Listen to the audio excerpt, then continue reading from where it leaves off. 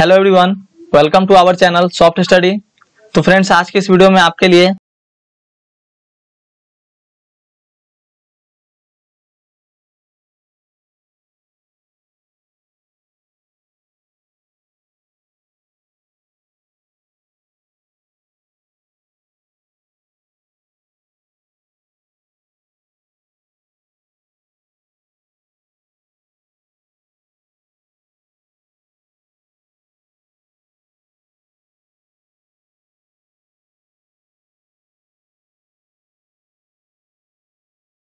उसको देख सकते हैं। तो चलिए बढ़ते हैं हम लोग अपने पहले क्वेश्चन की ओर। हमारा जो आज का पहला क्वेश्चन है, बहुत ही इंपॉर्टेंट क्वेश्चन आपके एग्ज़ाम के लिए।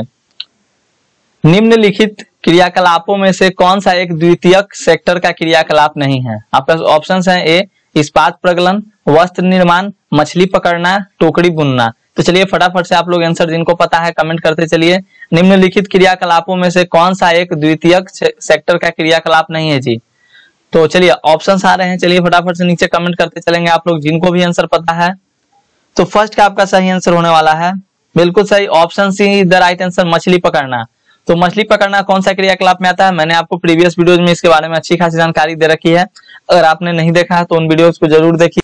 क्योंकि सभी वीडियो आपके लिए इंपॉर्टेंट है। अगर अच्छा आप करना चाहते हैं तो आपके लिए सभी वीडियो ही इंपॉर्टेंट है जी। तो मैंने आपको बताया था कि जो प्राथमिक क्रियाकलाप होता है, प्राथमिक क्रियाकलाप में जैसे आपके कच्चे पदार्थ आते हैं, कच्चे पदार्थ का उत्खनन होता है पशु चारण होता है, मत्स्य पालन होता है, जिसे आप मछली पकड़ना करें मछली पालना कर सकते हैं। वानिकी हो गया, आपका खनन हो गया, कृषि हो गया। तो निम्नलिखित में से कौन सा जो है द्वितीय सेक्टर का क्रियाकलाप नहीं है? तो आप समझ सकते हैं, इसका राइट आंसर आपका हो गया option C the right answer और बात करते हैं द्वितीय सेक्टर के बारे में। इसका हिंदी होगा द्वितीय क्रियाकलाप। तो आप कह सकते हैं कि इसमें क्या होता है? द्वितीय क्रियाकलाप में द्वितीय सेक्टर में जो कच्चे माल से मूल्यवान जो होते हैं, वस्तु बनाए जाते हैं, जैसे उद्योग में जैसे अयस्क हो गया लोहा का अयस्क अयस्क से लौह का बनना हो गया आपका। लौह को इस्पात में बदलना, कपास की रुई से कपड़ा तैयार करना, ये सब जो आपका हुआ वस्त्र निर्माण हो गया इस्पात प्रगलन हो गया, टोकरी बुनना, ये सब आपका आ गया द्वितीय सेक्टर में। तो याद रखेंगे, आपके लिए बहुत ही इंपॉर्टेंट है। बढ़ेंगे हम लोग अपने अगले क्वेश्चन की और हमारा जो अगला क्वेश्चन है क्वेश्चन नंबर टू निम्नलिखित में कौन सा एक चतुर्थ क्रियाकलाप है? चतुर्थ क्रियाकलाप के बारे में मैं आपको बता दूँ कि चतुर्थ क्रियाकलाप यह एक प्रकार का जो होता है बौद्धिक सेवा है, जैसे आपका तो जैसे आपका जो एग्ज़ाम्पल मैं कुछ आपको बता दे रहा हूँ, जैसे आपका हो गया अनुसंधान हो गया, प्रशासनिक सेवा हो गया, सूचना हो गया संसाधन और प्रसारण इत्यादि जो हो गया आपका। जैसे मैं आपको एक चार्ट दिखाता हूँ, आप उस चार्ट की मदद से आप इसको समझ लेना पहले, फिर उसके बाद आपको आंसर देने की कोशिश करना है। चलिए, चलते हैं हम लोग अपने चार्ट की ओर। यहाँ पर आपको कुछ देखने को मिला, जैसे देखिए, सेवा सेक्टर है, ये आपकी बुक से ही लिया गया है एनसीआरटी बुक का ही है। तृतीय क्रियाकलाप और यहाँ पर चतुर्थ क्रियाकलाप है और यहाँ पे पंचम क्रियाकलाप है। तो तृतीय क्रियाकलाप के अंदर में, यानी कह सकते हैं आप टर्सरी सेक्टर के अंदर में टर्सरी एक्टिविटीज़ के अंदर में, जो आपका आता है व्यवहार एवं वाणिज्य व्यापार एवं वाणिज्य, परिवहन आपका आ गया, संचार हो गया जी, सेवाएँ। और उसमें भी आप देखिए व्यापार एवं वाणिज्य में जाते हैं तो थोक व्यापार भी आता है आपका, और फुटकर व्यापार, जिसे आप फुटपाथ व्यापार वाला कहते हैं, जो ग्रामीण और नगरीय होता है, उसको में, और यहाँ पर देखिए, थोक व्यापार में आपका नगरीय आपूर्ति हो गया, ग्रामीण, मीडिया मंडिया हो गया यहाँ पर नगरीय में हो गया आपका ग्रामीण। यहाँ से आप मतलब इस चार्ट से आप अच्छे से समझ सकते हैं कौन सा जो होता है दूरभाष इंटरनेट ये श्रृंखला भंडार ये सब जो आ, आपका आ गया ये सब तृतीय क्रियाकलाप नहीं आया। परिवहन में भी आपका रेल हो गया सड़क हो गया जल हो गया वायु हो गया ये सब जो आपका आया ये सब कौन सा है तो तृतीय क्रियाकलाप ही है।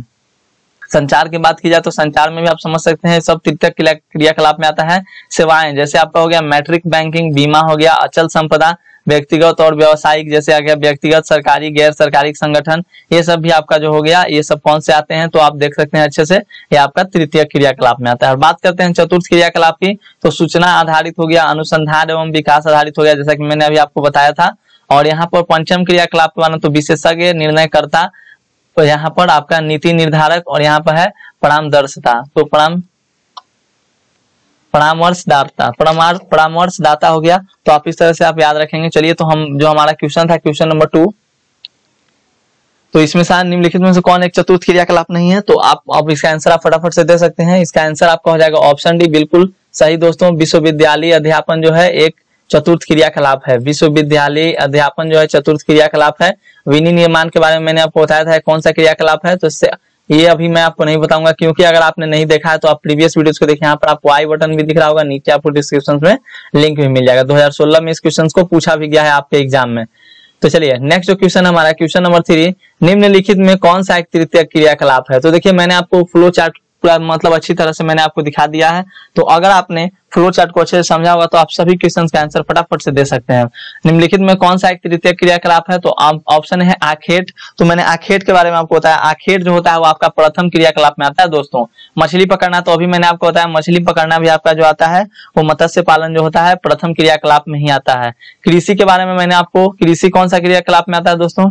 तो चलिए कृषि के बारे में चलिए तो कृषि भी आपका जो हो गया, वो प्रथम क्रियाकलाप में आता है, यानी कि ये ऑप्शन ए बी सी है। तीनों जो है, वो प्रथम क्रियाकलाप में ही आता है। तो आपका व्यापार जो हो गया, व्यापार जो, ये जो आपका हो गया option D the right answer third का ऑप्शन डी हो जाएगा। जो व्यापार जो आता है, आपका तृतीय क्रियाकलाप में आता है। 2015 में पूछा गया 2019 में पूछा गया। है नेक्स्ट जो क्वेश्चन है क्वेश्चन नंबर फोर और किसी जब किसी क्वेश्चन के आंसर में कंफ्यूजन हो तो आप नीचे कमेंट में कमेंट करके बता दीजिएगा। उसका आंसर मैं आपको सोल्व करके बता दूँगा। उसका आंसर मैं आपको बताने की कोशिश करूँगा। चलिए तो किसी क्वेश्चन में आपको कंफ्यूजन हो जैसे लगे कि नहीं, मेरा ये आंसर सही होना चाहिए सर गलत बता दिए भैया गलत बता दिए तो आपको नीचे कमेंट में कमेंट करके बताना है। नेक्स्ट जो क्वेश्चन है क्वेश्चन नंबर फोर वाह्य श्रोतिकरण सहायक है। वाह्य श्रोतिकरण सहायक है। ऑप्शन है दक्षता सुधारने में, विकासशील देशों में, रोज़गार बढ़ाने में, कीमत को घटाने में, इनमें से सभी। 2015 में इस क्वेश्चन को पूछा गया है। फ्रेंड्स ये टर्म है वाह्य श्रोतिकरण। इसका आप टर्म्स का मतलब समझते हैं पहले। वाह्य श्रोतिकरण क्या होता है? ऐसे तो जो वाह्य श्रोतिकरण जो आपका हो गया, वो लगभग पंचम क्रियाकलाप में आपका आता है, लेकिन मैं आपको कुछ टर्म्स इसके बारे में बता देता हूँ कि वाह्य श्रोतिकरण आखिर है क्या। तो वाह्य श्रोतिकरण जो है वाह्य श्रोतन जो है, एक ठेका देना है, जिस तरह से आप लोग ठेका देते हैं, ठेका देना है दक्षता को सुधारने और लागतों को घटाने के लिए किसी बाहरी अभिकरण को काम सौंपना है। जब बाह्य श्रोतन में कार्य समुद्र पार समझ सकते हैं समुद्र पार के स्थानों पर स्थानांतरित कर दिया जाता है तो इसको अपतर, अपतरण मतलब आप ऑफशोरिंग कहा जाता है। यद्यपि जो होता है, जो अवतरण और वाह्य स्रोतन का प्रयोग इकट्ठा किया जाता है, जिन व्यापारियों और क्रियाकलापों को वाह्य स्रोतन किया जाता है, उनमें सूचना प्रौद्योगिकी, मानव संसाधन, ग्राहक सहायता और कॉल सेंटर सेवाएँ और कई बार विनिर्माण तथा अभियांत्रिक भी सम्मिलित की जाती है। तो इस तरह से आप लोग याद रखेंगे। नेक्स्ट जो क्वेश्चन हमारा क्वेश्चन नंबर फाइव किस महादेश में सबसे अधिक संख्या में अंतरराष्ट्रीय पर्यटक आते हैं? किस महादेश में सबसे अधिक संख्या में अंतरराष्ट्रीय पर्यटक आते हैं? 2012 में इस क्वेश्चन को पूछा गया है मित्रों। तो इसका आंसर आप लोग को फटाफट से कमेंट करके बताना होगा। और इसका आंसर मैं आपके ऊपर छोड़ता हूँ। फाइव का आंसर आपको देना है, क्योंकि बहुत ही सिंपल सा क्वेश्चन है और इसमें कोई कंफ्यूजन नहीं है। आप इसका आंसर बता सकते हो अगर आपने बुक को पढ़ा होगा तो। चलिए फाइव का आपका ऑप्शन है यूरोप ऑस्ट्रेलिया अफ्रीका और उत्तरी अमेरिका तो फटाफट से जिनका आंसर सही होगा वीडियोस को खत्म होते ही आप लोगों के लिए फाइव नंबर क्वेश्चन आपके लिए छोड़ा गया है। केवल इस वीडियोस का एक ही क्वेश्चन आपके लिए छोड़ा गया है। तो इसका आंसर आप लोग को बताना होगा। नेक्स्ट जो क्वेश्चन हमारा क्वेश्चन नंबर सिक्स क्या मैं ही बता दू आंसर नहीं, आप लोग को बताना है। चलिए, देखेंगे सबसे पहले कौन इसका आंसर बताते हैं। नीचे कमेंट में बताना है आपको। निम्नलिखित में से कौन सा एक पंचम क्रियाकलाप है? निम्नलिखित में से कौन सा एक पंचम क्रियाकलाप है? तो दोस्तों, मैंने आपको खेती के बारे में बताया है। कृषि जो आता है, आपका प्रथम क्रियाकलाप में आता है। आखेट भी आपका प्रथम क्रियाकलाप में आता है। और यहाँ पर इराक जो है, ये तो शायद एक देश का ही नाम आ गया है। तो option C the right answer वाह्य स्रोतन। वाह्य स्रोतन द राइट आंसर अभी मैंने आपको वाह्य स्रोतन के बारे में भी जानकारियाँ कुछ कुछ दी थी। नेक्स्ट जो क्वेश्चन है, हमारा क्वेश्चन नंबर सेवन और हेमेटाइट अयस्क से किस धातु का उत्पादन होता है? और ये क्वेश्चन जो है आपके 2017 एग्जामिनेशन में पूछा गया था। 2017 के एग्जामिनेशन में पूछा गया था हेमेटाइट अयस्क से किस धातु का उत्पादन होता है? तो ऑप्शन है तांबा लोहा मैंगनीज बॉक्साइड। तांबा लोहा मैंगनीज बॉक्साइड। हेमेटाइट अयस्क से किस धातु का उत्पादन होता है? तो सेवन का आपका सही आंसर हो जाएगा। दोस्तों हेमेटाइट जो होता है वो किसका अयस्क है? तो याद रखना है सेवन का option B the right answer बिल्कुल सही। साथियों, जिनका जिनका ऑप्शन बी है, बिल्कुल सही। नेक्स्ट जो क्वेश्चन है हमारा क्वेश्चन नंबर एट शिक्षा कानून क्रियाकलाप है। तो मैं आपको बता दूँ, मैंने आपको प्राथमिक क्रियाकलाप के बारे में बताया। मैंने आपको प्राथमिक क्रियाकलाप में ये बताया कि जो होता है कि कार्य की प्रकृति के आधार पर आर्थिक क्रियाकलापों के चार प्रमुख भागों में बांटा जाता है। जैसा मैंने आपको बताया, प्राथमिक होता है, द्वितीयक होता है, तृतीयक होता है और चतुर्थ होता है। तो प्राथमिक का कुछ एग्ज़ाम्पल होता है जैसे आप याद रखेंगे। आखेट हो गया आपका कच्चे पदार्थों का उत्खनन हो गया पशु चारण हो गया, मत्स्य पालन हो गया, वानिकी हो गया, कृषि हो गया, ये सब जो आपका हो गया, ये प्रथम क्रियाकलाप में आ गया, प्राथमिक में। समझेंगे बात?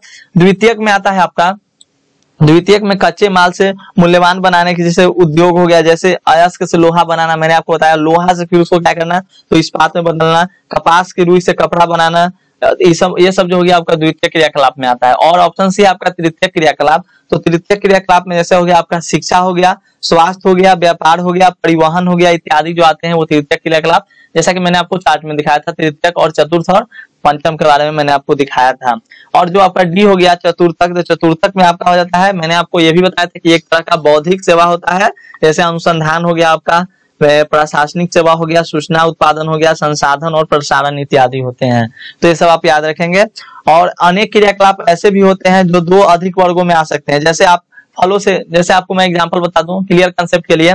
फल से रस निकलकर घर में पीना, जो होता है घर में पीना या ठेले पर बेचना प्राथमिक क्रियाकलाप है। वही व्यावसायिक रूप से इसे मशीनों से बोतल में बंद कर बाजारों में उपलब्ध कराना द्वितीय क्रियाकलाप है। हस्तकला हो गया और गृह उद्योग के अनेक क्रियाकलाप दोनों वर्गों में आते हैं। जैसे आप लोग समझ सकते हैं प्राइमरी एक्टिविटी जो हो गया प्राथमिक क्रियाकलाप। तो चलिए नेक्स्ट जो क्वेश्चन है आओ इसका आंसर आपका हो जाएगा एट का सॉरी और एट का आंसर हो जाएगा शिक्षा कानून क्रियाकलाप है। तो या, याद रखिएगा option C the right answer तृतीय क्रियाकलाप। तृतीय क्रियाकलाप, एक मिनट, क्या होगा इसका राइट आंसर चलिए फटाफट से। तो ऐसे मैं आपको बता दूँ, जैसे देखिए, शिक्षा के बारे में मैंने बताया तो शिक्षा जो मेनली होता है, आपका तृतीय क्रियाकलाप में ही आता है जी। लेकिन चतुर्थ क्रियाकलाप का डिफिनेशन भी मैंने आपको बताया कि बौद्धिक से मतलब क्या है तो रिलेटेड है। तो आप इसका आंसर अगर शिक्षा कानून की बात की जाए, अगर शिक्षा की बात की जाए तो आपका तो तृतीय नहीं होगा यानी option C the right answer next जो क्वेश्चन है हमारा क्वेश्चन नंबर नाइन निम्नलिखित में से कौन सा एक सेक्टर दिल्ली, मुंबई, चेन्नई और कोलकाता में सर्वाधिक रोज़गार प्रदान करता है? निम्नलिखित में से कौन सा एक सेक्टर दिल्ली, मुंबई, चेन्नई और कोलकाता में सर्वाधिक रोज़गार प्रदान करता है? तो याद रखेंगे आपका नाइन का राइट आंसर होने वाला है दोस्तों।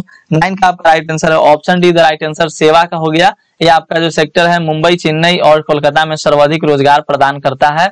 ऐसे भी ये क्वेश्चन आपके लिए इंपॉर्टेंट है, क्योंकि जो सेवा जो होता है, ये सेवा आपका बहुत ही मतलब इंपॉर्टेंट सेक्टर है इंपॉर्टेंट सेक्टर में आता है। नेक्स्ट जो क्वेश्चन है क्वेश्चन नंबर टेन भारत का सबसे बड़ा तेल शोधक कारखाना कहाँ है? भारत का सबसे ज़्यादा तेल सबसे बड़ा सबसे बड़ा तेल शोधक कारखाना कहाँ है? तो चलिए फटाफट से जिनको आंसर पता है, बताइए तेल शोधक कारखाना कहाँ है? मैंने क्वेश्चन को बताया आपको। तो याद रखेंगे ऑप्शन ए है जामनगर बी है मथुरा सी है बड़ौनी और डी है हल्दिया। तो याद रखेंगे ऑप्शन इसका ए हो जाएगा बिल्कुल सही। ऑप्शन ए, बहुत लोगों ने ऑप्शन ए दिया है, बिल्कुल सही। Option A the right answer आप लोग इसी तरह से नीचे कमेंट में कमेंट करते चलेंगे और जो लोग चैनल पे नए होंगे प्लीज़ चैनल को आप लोग सब्सक्राइब कर लीजिएगा। और वीडियोस को पूरा ज़रूर देखिएगा, क्योंकि ये सभी क्वेश्चंस आपके एग्ज़ाम के लिए इंपॉर्टेंट हैं जी। और मैंने आपको शुरू में ही बताया है कि आपको कम से कम अपने दो दोस्तों के वीडियोस क्या करने हैं तो शेयर करने हैं। ज़्यादा से ज़्यादा आप कितना भी कर सकते हैं, लेकिन कम से कम दो दोस्तों को वीडियो ज़रूर से ज़रूर शेयर करना है ताकि चैनल पे ज़्यादा से ज़्यादा बच्चों को जोड़ा जा सके, ज़्यादा से ज़्यादा बच्चों को फ़ायदा हो सके। और तभी हम भी मतलब आपके लिए अच्छे से कार्य कर पाएँगे। नेक्स्ट जो क्वेश्चन है क्वेश्चन नंबर इलेवन वे काम जिनमें उच्च परिमाण और उच्च और स्तर वाले अन्वेषण सम्मिलित होते हैं, कहलाते हैं। मैं आपको बता दूँ, चलिए फटाफट से। वे काम जिनमें उच्च परिमाण और स्तर वाले अन्वेषण सम्मिलित होते हैं, कहलाते हैं। तो चलिए, क्या होगा? इलेवन का सही आंसर क्या होगा? चलिए दोस्तों कमेंट करते चलिए। तो ये जो आपका क्वाइनरी एक्टिविटीज़ है क्वाइनरी एक्टिविटीज़ कहने का मतलब जो पंचम क्रियाकलाप है, इसमें कहता क्या है कि नीति निर्धारण और निर्णय स्तर का सर्वोच्च स्तर के क्रियाकलाप, पंचम क्रियाकलाप कहलाता है। और इसमें जैसे आप कह सकते हैं, जैसे विशेषज्ञ जो बड़ा बड़ा कंपनी होता है, सर्वोच्च लाभ के पद पर, जैसे सरकारी कार्यकालयों में प्रमुख तथा वित्त न्याय एवं शोध संस्थानों के प्रमुख होते हैं। तो इसका आपका राइट राइट आंसर हो जाएगा। पंचम क्रियाकलाप ये जो होता है, मैंने आपको इसका डिफिनेशन भी बताया कि ये स्तर के सर्वोच्च स्तर के क्रियाकलाप होते हैं। कौन से क्रियाकलाप? तो पंचम क्रियाकलाप, यानी option B the right answer आपका जो प्राथमिक क्रियाकलाप होता है तो इसमें आप जानते ही हैं, मछली पालना ये सब आता है। नेक्स्ट जो क्वेश्चन है जो देखिए, यहाँ पर मैंने ये तो आपको दिखाया ही था। ये मैंने आपको अच्छे से दिखाया था। चलिए तो नेक्स्ट क्वेश्चन है क्वेश्चन नंबर थर्टीन भारत में परमाणु ऊर्जा स्टेशन कितने हैं? भारत में परमाणु ऊर्जा स्टेशन कितने हैं? दोस्तों, मैं आपको बता दूँ, अभी तक जो है 2018 तक 2018 तक के जो अपडेट्स आई है, उतने में भारत में परमाणु ऊर्जा के स्टेशन जो है, वो सात हैं। याद रखेंगे आप लोग। नेक्स्ट जो क्वेश्चन है क्वेश्चन नंबर फोर्टीन लोहरदगा किस लिए प्रसिद्ध है? भाई, इसका आंसर जो है, आपका नाम में ही मतलब मिला हुआ है। लोहरदगा किस लिए प्रसिद्ध है? तो आप याद रखेंगे लोहरदगा का नाम लोहरदगा क्यों पड़ा? क्योंकि वहाँ पर बहुत मात्रा में पुराने जमाने में जो बहुत समय पहले वहाँ पर बहुत ज़्यादा मात्रा में लोहा को क्या किया जाता था? तो गलाया जाता था। तो याद रखेंगे आप लोग, चलिए। ये ऐसे भी जो होता है आपका। लोहरदगा कहाँ में है जी? चलिए फटाफट से कमेंट कीजिए। तो आपका 14 का आपका सही आंसर ऑप्शन डी हो जाएगा लोहा। लोहर दगा किस लिए प्रसिद्ध है? तो लोहा के लिए। नेक्स्ट जो क्वेश्चन है क्वेश्चन नंबर 15 विश्व स्तर पर सेवाओं सेवाओं का निम्नलिखित में से कितने प्रतिशत योगदान है? विश्व स्तर पर सेवाओं का निम्नलिखित में से कितने प्रतिशत योगदान है? ऑप्शन ए है दस प्रतिशत, बी है पचास प्रतिशत, बीस प्रतिशत, सौ प्रतिशत। याद रखेंगे आप लोग फिफ्टीन का राइट आंसर आपका ऑप्शन सी हो जाएगा मित्रों, बीस प्रतिशत। नेक्स्ट क्वेश्चन है हमारा क्वेश्चन नंबर सिक्सटीन संसार के प्रसिद्ध वैश्विक नगर निम्नलिखित में से कौन कौन से हैं? Delhi, London, Hong Kong, London, New York, Mumbai, London, New York, Tokyo, Kolkata, Paris Toronto. Toronto Toronto. तो 16 का आपका राइट आंसर हो जाएगा मित्रों option C the right answer London New York Tokyo याद रखेंगे, संसार के प्रसिद्ध वैश्विक नगर जो है, वो आपका है London New York Tokyo next जो क्वेश्चन है क्वेश्चन नंबर सेवेंटीन तृतीय क्रियाकलाप से संबंधित है। और क्वेश्चन नंबर फाइव का आंसर आप लोग को बताना है तो कमेंट करके ज़रूर से ज़रूर आप लोग आंसर को बताएँगे। चलिए तो यहाँ पर हम लोग आते हैं, बढ़ते हैं अपने क्वेश्चन की ओर। हमारा जो आज का अगला जो क्वेश्चन है तृतीय क्रियाकलाप से संबंधित है, व्यापार, परिवहन, संचार, सेवाएँ, और इनमें से सभी। तो मैंने तृतीय क्रियाकलाप में आपको बताया था, संचार और सेवाएँ, परिवहन, ये सब जो आते हैं, वो आपके तृतीय क्रियाकलाप में ही आते हैं, यानी option D is the right answer इनमें से सभी। याद रखेंगे आप लोग। चलिए, बढ़ेंगे हम लोग अपने अगले क्वेश्चन की ओर। हमारा जो अगला क्वेश्चन है, question number eighteen. Asia, Africa, दक्षिण अमेरिका के अधिकतर लोग इंटरनेट का क्या करते हैं? तो आप याद रखेंगे, इंटरनेट के ये कंसेप्ट जो है आपके लिए बहुत इंपॉर्टेंट है। और ये जो इंटरनेट का कंसेप्ट है, जिसके माध्यम से अभी आप लोग पढ़ाई कर पा रहे हैं इंटरनेट के माध्यम से आप मेरी वीडियोस को देख पा रहे हैं। तो चलिए मैं आपको बता दूँ कि एक लाख की जनसंख्या पर इंटरनेट का उपयोग करने वालों की संख्या के आधार पर देशों के दो वर्ग बन गए हैं। जैसे आपका विकसित और विकासशील होता है तो एक लाख की जनसंख्या पर यानी कह सकते हैं आप लोग बहुत कम मात्रा में होता है। तो विकसित और विकासशील देश होते हैं, जैसे आपका हो गया देश, कनाडा हो गया, ऑस्ट्रेलिया हो गया, ये सब प्रथम स्थान पर आते हैं। एक लाख की जनसंख्या पर इंटरनेट यूज़ करने में। आप लोग याद रखिएगा, इस टर्म्स को अच्छे से याद रखेंगे। और मैं आपको बता दूँ कि एशिया हो गया, आपका अफ्रीका हो गया, जैसा यहाँ पर आप देख रहे हैं, एशिया हो गया, अफ्रीका हो गया, दक्षिण अमेरिका हो गया अधिकतर लोग इंटरनेट का क्या करते हैं तो बहुत अधिक उपयोग करते हैं, या बहुत कम बिल्कुल उपयोग नहीं करते हैं, तीस प्रतिशत लोग उपयोग करते हैं, या सात प्रतिशत लोग उपयोग करते हैं। तो एटीन का आपका मैं बता दूँ कि जो एशिया, अफ्रीका और दक्षिण अमेरिका के अधिकतर जो लोग हैं वो इसका उपयोग बहुत कम करते हैं, बहुत कम करते हैं, यानी option B the right answer बहुत कम करते हैं। लेकिन जो अपना भारत जो है दोस्तों, आश्चर्यजनक रूप से आज अपने देश में इंटरनेट का जो है बहुत ज़्यादा एशिया में ही भारत आता है ना तो हमारा जो देश भारत है, आज बहुत ही मतलब तीव्रता के साथ, बहुत मतलब बहुत बड़ी छलांग के साथ आगे बढ़ रहा है इंटरनेट के उपयोग में। तो याद रखेंगे ऑप्शन बी इसका हो जाएगा बहुत कम या बिल्कुल उपयोग नहीं करते हैं। कहाँ के लोग? एशिया, अफ्रीका और दक्षिण अमेरिका में इसका उपयोग बहुत ही कम होता है। तो आप लोग इस तरह से याद रखेंगे। और एक बात और याद रखिएगा कि आश्चर्य की ये बात है कि इंटरनेट का उपयोग अमेरिका में जो होता है, बहुत ही, बहुत मतलब कम लोग करते हैं। इंटरनेट का अमेरिका में बहुत कम लोग उपयोग करते हैं। लगभग एट परसेंट ही मतलब विश्व का इंटरनेट जो होता है, वो अमेरिका में यूज़ किया जाता है। इस तरह से आप लोग याद रखेंगे। और बढ़ेंगे हम लोग अपने अगले क्वेश्चन की और हमारा जो अगला क्वेश्चन है आज का, क्वेश्चन नंबर नाइनटीन। एक मिनट रुक जाइए हाँ पेन चेंज कर दो। हाँ चलिए। सेवाओं के क्रियाकलाप के संसाधन के प्रादेशिक केंद्र एशिया में किन किन शहरों में स्थापित हो गए हैं? सेवाओं के जो सेवा है क्रियाकलाप के संसाधन के प्रा, प्रा, प्रादेशिक केंद्र एशिया में किन किन शहरों में स्थापित हो गए हैं? तो आपको बस याद रखना है इसका राइट आंसर आपका 19 का हो जाएगा मित्रों। Option A the right answer Mumbai, Bangkok और संघाई ऐसे जो संघाई जो देश है, वो आपका जो होता है, वो वैश्विक रूप से ये नहीं आता है तो आप लोग याद रखिएगा।